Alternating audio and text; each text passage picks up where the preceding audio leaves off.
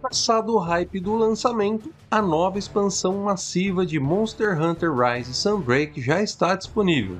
Mas será que ela é massiva mesmo? Será que ela vale o preço que é cobrado? Ela adiciona muita coisa ao jogo base? Vem comigo que eu vou te explicar melhor. E aí galera, tudo bem com vocês? Eu sou o Marcel, você está no canal Vida de Nerd. No vídeo de hoje eu vou fazer para vocês uma análise curta e sincera, mas principalmente uma análise do ponto de vista de um jogador normal, uma pessoa normal igual você que está aí assistindo e está na dúvida se deve comprar Monster Hunter Rise Sunbreak ou não. Então fica aí até o final do vídeo que eu tenho certeza que você vai saber se a DLC é para você ou não. E é claro, se ela vale a pena, se ela vale o preço pedido. Então, para saber de tudo isso, é importante que você assista o vídeo até o final para entender tudinho, beleza? Então vamos lá, vamos começar aqui. Monster Hunter Rise Sunbreak foi lançado para Nintendo Switch e PC no dia 30 de junho de 2022. Quero agradecer muito a Capcom por ter me cedido aqui do jogo. Esse novo lançamento, para quem não sabe, não é um jogo completo, e sim uma DLC. Ou seja, para ter acesso a todo o conteúdo de Sunbreak, você terá que comprar ou já ter comprado o jogo base Monster Hunter Rise. Porém, essa não é uma DLC comum como a que estamos acostumados a ver por aí. Ela é chamada de expansão massiva, que é uma DLC que agrega muito conteúdo ao jogo. A DLC começa assim que você termina o jogo base. E não se preocupe que eu vou evitar dar spoilers desnecessários aqui. Se você chegou até aqui na dúvida se deve comprar ou não, possivelmente você não tenha jogado também o jogo base, então não vou dar spoilers, beleza? Quando terminamos o jogo e salvamos a aldeia de Kamura da calamidade, nós derrotamos alguns monstros principais da história que aparecem no jogo. E logo após tudo isso, nós encontramos uma Cavaleira da Ordem Real, que nos pede ajuda para desvendar alguns mistérios. E é aí que nos juntamos a ela e a partir daí partimos para um novo lugar chamado de Posto Elgado. Um lugar que particularmente me lembra bastante a nossa base em Monster Hunter World. E por falar no jogo anterior da série, também temos a volta de um mapa bem querido pelos fãs. Mas vamos lá, vamos continuar aqui. Obviamente, como tudo se trata de caça aos monstros, Sunbreak adiciona uma boa quantidade de novos monstros. E sim, são monstros bem legais com visuais lindíssimos e habilidades desafiadoras. Entre eles, os antigos do jogo base também apresentam novos truques para complicar a nossa vida. Eles voltam mais poderosos e com habilidades diferentes.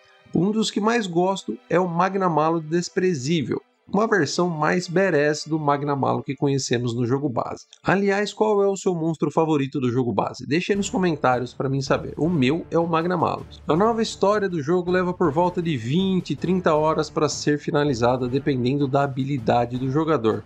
É claro que esse tempo pode variar para menos ou para mais dependendo da forma que você joga. Mas isso é só a história principal da DLC. Porque o jogo mesmo pode ser jogado por horas e horas a fio. Eu mesmo, por exemplo, já tenho mais de 100 horas do meu save, mas geralmente após terminar aí a história principal do jogo, você ainda permanece insistindo em jogá-lo para pegar melhores itens, armaduras e armas. Armas que por sinal é um dos únicos pontos negativos que eu vejo no jogo.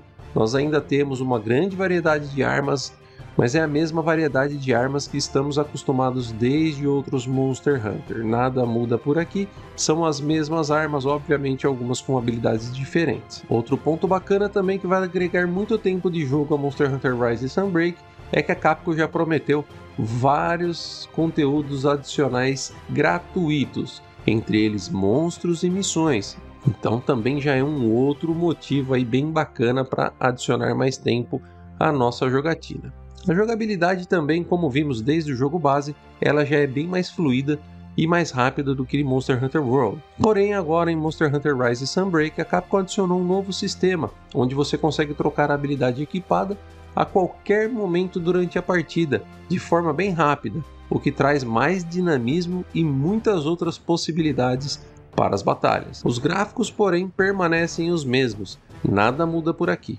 Outra boa adição foram os novos personagens, que vão aparecendo durante a história do game e eles são bem legais na minha opinião.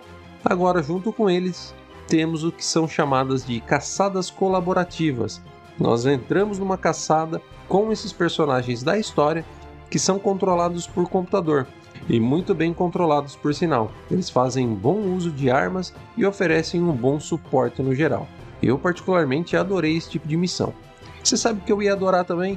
Ia adorar se você perdesse alguns segundos do seu tempo e deixasse um like nesse vídeo. E se você estivesse chegando agora nesse canal, você aproveitasse também para se inscrever, ativasse o sininho para receber as notificações Ia mais do que adorar, eu ia amar se você pudesse compartilhar esse vídeo com seus amigos que também gostam ou também querem saber esse Monster Hunter Rise Sunbreak é legal para eles. Dito isso, galera, o que eu achei de Monster Hunter Rise Sunbreak? O jogo em si não sofre com bugs e eu pelo menos não me deparei com nenhum durante meu tempo de jogatina e olha que meu save tem mais de 100 horas. O jogo base ele é bem expandido, muito bem expandido, a história é bem legal, uma das melhores de Monster Hunter, principalmente se falando em DLCs. E para falar a verdade, de verdade mesmo, o jogo continua sendo muito bom. Eu joguei a versão de Nintendo Switch para esse review, mesmo os gráficos estando abaixo da versão de PC, e rodar ao invés dos 60 frames da versão do PC, no console da Nintendo rodar a 30 frames, o jogo é simplesmente um dos melhores da biblioteca do Switch. E a Capcom dá aula de como trazer um port de um jogo deste tamanho para o console da Nintendo. Eu realmente acho que o jogo vale muito a pena e recomendo. Ainda mais se você for fã da série Monster Hunter. Ele é uma aquisição certíssima para você. Porém, se você está chegando agora na série e nunca jogou, não pegue a demo, não baixe a demo e não tire conclusões precipitadas pela demo. Porque a demo, ela simplesmente te põe numa caçada com um caçador aleatório, com armadura aleatória e com uma arma aleatória que você nunca jogou. Então você não vai conseguir ter uma experiência Monster Hunter com a demo. O jogo em si é totalmente diferente da demo, tá bom? Então não tire conclusões pela demo. O que eu recomendaria para você que quer conhecer o jogo, fique atento, sempre tem promoções de Monster Hunter Rise de jogo base para você pegar, tanto na eShop como na Steam.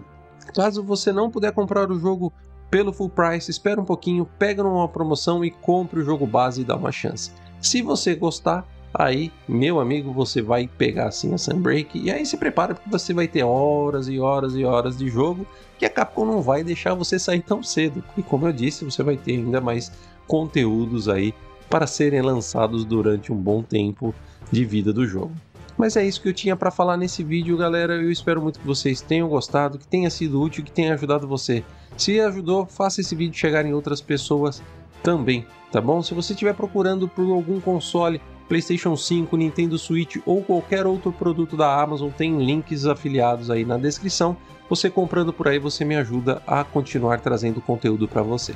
Beleza? Não se esqueça então do like, de se inscrever e ativar o sininho. Eu acho que eu vejo você no próximo vídeo. Um grande abraço e tchau!